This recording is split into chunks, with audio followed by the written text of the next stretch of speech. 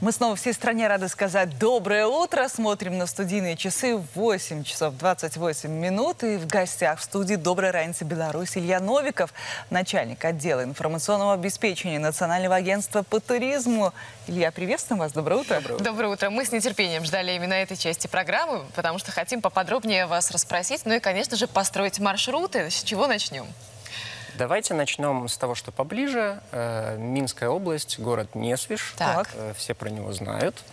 Э, В эти выходные 13-14, это суббота-воскресенье, там будет фестиваль Несвижская фортеция.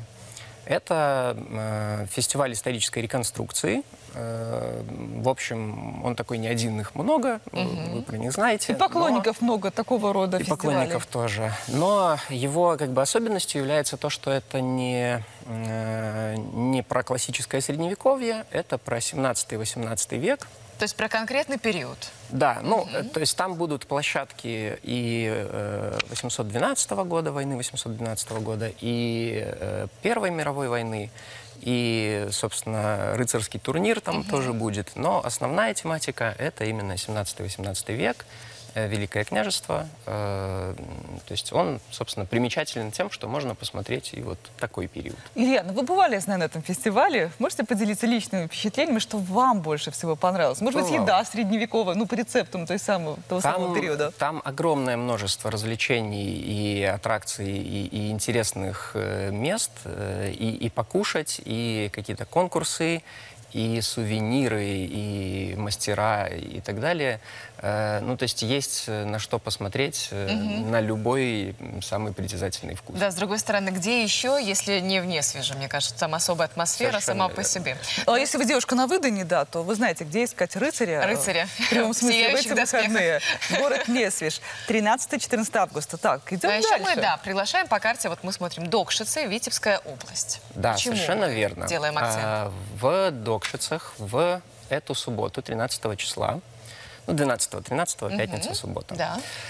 а, будет проходить э, фестиваль, республиканский фестиваль двух рек. Э, Это фестиваль, который приурочен к э, 615-летию города Докшицы.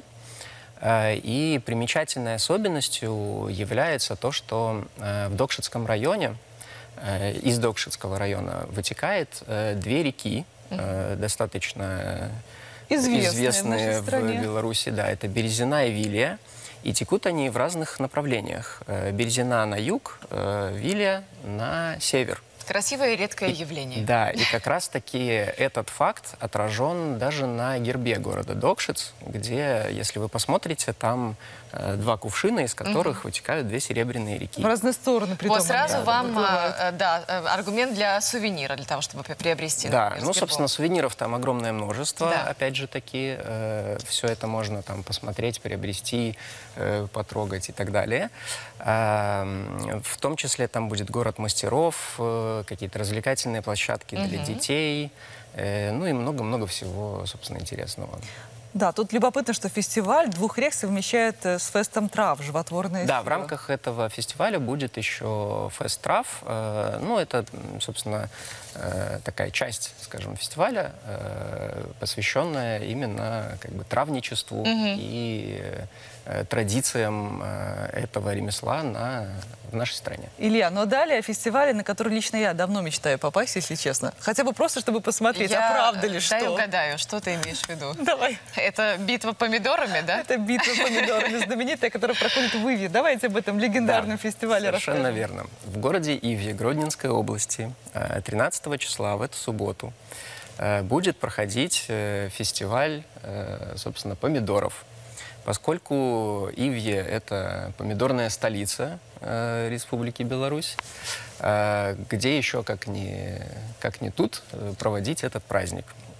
Значит, эм, в, в пра- в празднике, в программе праздника достаточно много интересных вещей. Это, как вы уже упомянули, битва помидорами. И это, мне кажется, самая такая развлекательная Ив- Ив- часть. Ивье Детаматейра. де Томатейра, да. Да. Да. а что, правда разрешают кидаться друг в друга помидорами? Ну почему нет? А И никто если тебя при этом не называет грубияном, невоспитанным? Не- Мне нравится настрой Ильи. Он сказал, почему нет, действительно, а почему бы и да.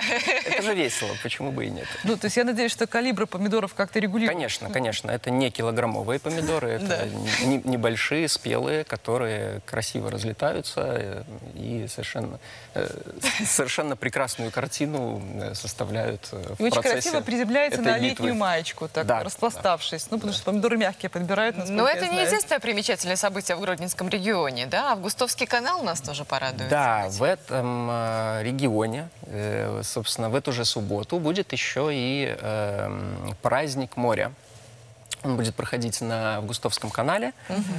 А, ну, собственно, Августовский канал сам по себе большая важная аттракция нашей страны, все про него знают. И эм, фестивали реконструкции, про которые мы уже говорили, это не достояние нашей современной цивилизации, это было и раньше.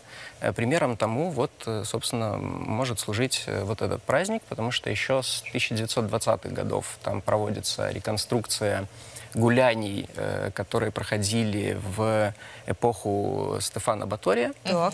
А Потом по объективным причинам э, эта традиция прервалась, и вот с 17 года ее снова возобновили. Э, И сейчас э, там проходят значит, гонки на, На чем попало. разных, попало, разных плавсредствах. Да. Кстати, очень А, креативно причем- подходят участники. Причем оценивается не только то, что ты первый прибыл, но и, собственно, твое плавсредство, твой образ, костюм и так далее. То есть вот в- То есть в надо комплексе удивить в во всех смыслах этого слова. Это прекрасное зрелище. Я всем рекомендую Да, э, говорят, что там побывать. если хотите убедиться, насколько богатая фантазия у белорусов, посетите вот этот заплыв под названием «На чем попало», и вы поймете, насколько же это весело. Где еще Совершенно тебе верно. помашет Посейдон буквально вот с какого-нибудь плавсредства? А я еще знаю, где точно будет весело в эти выходные на фестивале, в рамках которого вы можете посмотреть, как играет настоящий болотный футбол. Илья, давайте верно. об этом подробнее Кстати, в, расскажем. в болотный футбол играют и на Августовском канале. Тоже. Тоже, да. Но э, как-то более массово это будет проходить э, на фестивале э, «Споровские сенокосы». Так. А, Проходит это в деревне э, Высокая в Брестской области, э, в республиканском заказнике Споровский. Собственно, поэтому и название праздника. А, В том числе там будет э, прекрасное развлечение «Болотный футбол», да, где и женщины, и мужчины по колено в грязи играют, э, значит, в футбол. Это все весело, прекрасно и достойно восхищения. Я даже знаю, что специально в воду добавляют на футбольное болотное поле, чтобы грязь была как можно более приставучая в хорошем бывает смысле. Такое, бывает. Но в целом это, в общем, прекрасное зрелище. Ну, что касается косцов, то для них, конечно, это большое глобальное, даже сказала, событие такое, да, своего э, рода симпозиум. собственно, футбол это развлечение, Да. а э, сам фестиваль, э, ну, как бы основная его задача, да, и цель это сохранение традиций э, косцов, и в том числе есть еще и э, экологическая социальная задача. Они поднимают вопрос о э, зарастании болот, э, что в свою очередь влияет на биологические виды, э, то есть э, какие-то э, допустим, Ну, в частности, птицы, вертлявая которые- камышовка, да, например. э, Мгм. Она, собственно, из-за зарастания болот перестает селиться на этих территориях, ну и, соответственно, а она, собственно, занес- занесена в Красную книгу, поэтому... Да, это кстати, тоже очень интересное проблема. зрелище, даже наблюдать за косцами. И Участвуют там не только мужские команды, но и женские в том числе. То есть женщины с косой, Да, это тоже да. может очень эффектная история быть. Мы благодарим за э, эту познавательную информацию о том, как можно интересно, познавательно провести эти выходные. Спасибо, что были нашим гидом сегодня. Спасибо, Да. что пригласили. Илья Новиков был у нас в гостях, начальник отдела информационного обеспечения Национального агентства по туризму.